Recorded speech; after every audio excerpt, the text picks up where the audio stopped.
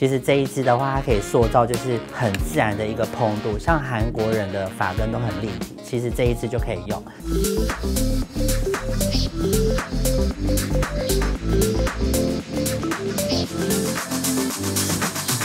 嗨，大家好，我是发型师 Look，我将要跟大家介绍我的工具箱。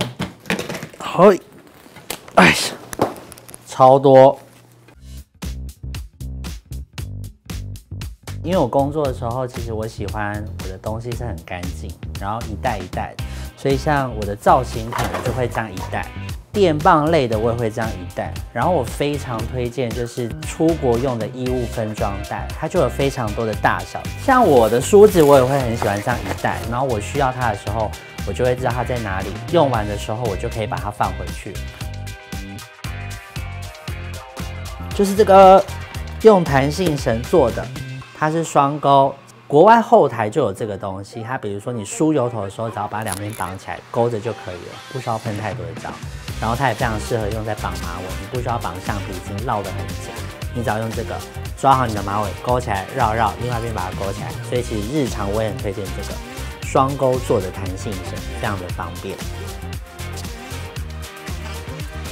我的一些发夹夹子我都会放在这个小盒子里面。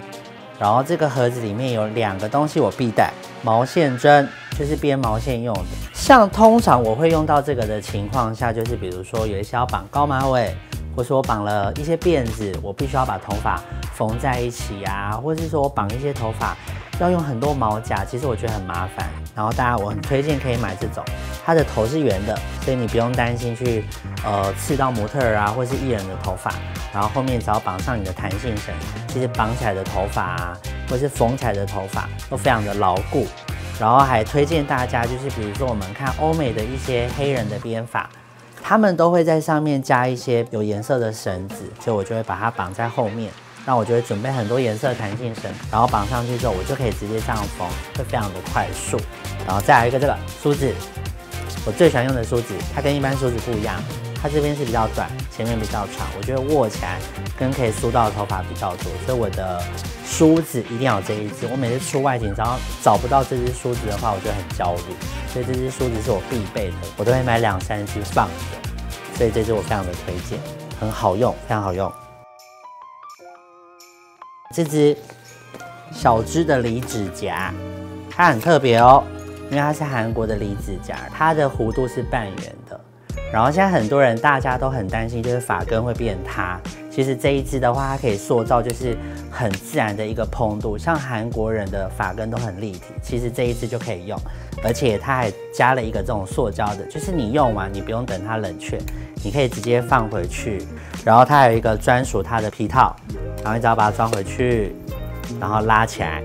像出外出啊，工作什么都非常的方便。像我自己出国，男生我也很推荐离子夹，因为其实它是同一个牌子的，只是有分不同的大小。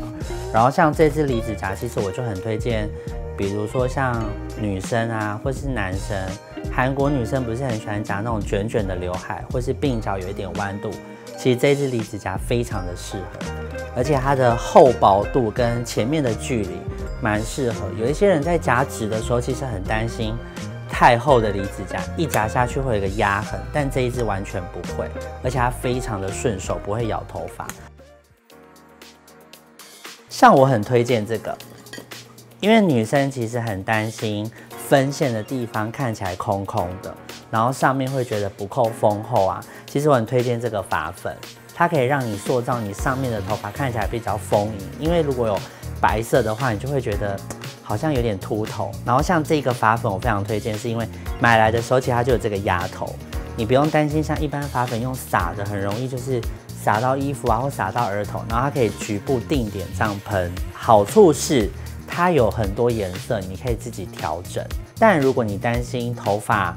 发根喷起来太黑，你可以买一个咖啡色去互相调和，只要装上这个头就可以。再一个好处是它会附一个梳子，它可以架在你的发际线，你用喷的话，你这边就会比较自然。所以我非常推荐这个发粉，它可以塑造你顶部区看起来比较丰厚。散卷女生通常都会使用离子夹，对不对？但我会推荐一一个东西，就是你在。吹头发吹干之后要夹离子夹前，你可以喷这一个，它也是欧贝的，它是镜面喷雾。因为自然卷女生其实第一她很担心头发毛躁，看起来没有光泽度。夹完之后，虽然说会有一定的光泽度之外，可是其实有时候遇到湿气很容易反直嘛。那我会建议你可以喷这个，在每一片你要夹的头发上喷上这个，夹完之后你的头发就会像镜子一样的亮。所以这个就叫镜面喷雾，我觉得这个很厉害，适合给自然卷的女生，然后想要夹直的人使用。如何防止哦？其实我发现，因为台湾天气真的很潮湿闷热，然后再加上我发现很多人洗完头之后都不把头发吹干。你不把头皮吹干的情况下，你立刻睡觉，你隔天起来其实真的很容易出油。所以你说要如何防止出油？其实最简单的方法就是你要从日常生活洗发的时候你就要做起。落发的话，就像我回归到刚刚讲的，其实头发你一定要在日常的时候，你就要去保养它。所以像落发的问题，有一部分可能是你可能饮食，或是压力，或是头皮的状况，那这些都是生活作息造成的。但我会推荐说，如果你真的担心落发的情况下，你洗头一定要非常的注意，尤其是在顶部区，因为掉头发其实有一部分都是在顶部区。你会发现很多人掉头发的时候，上面会有一些短。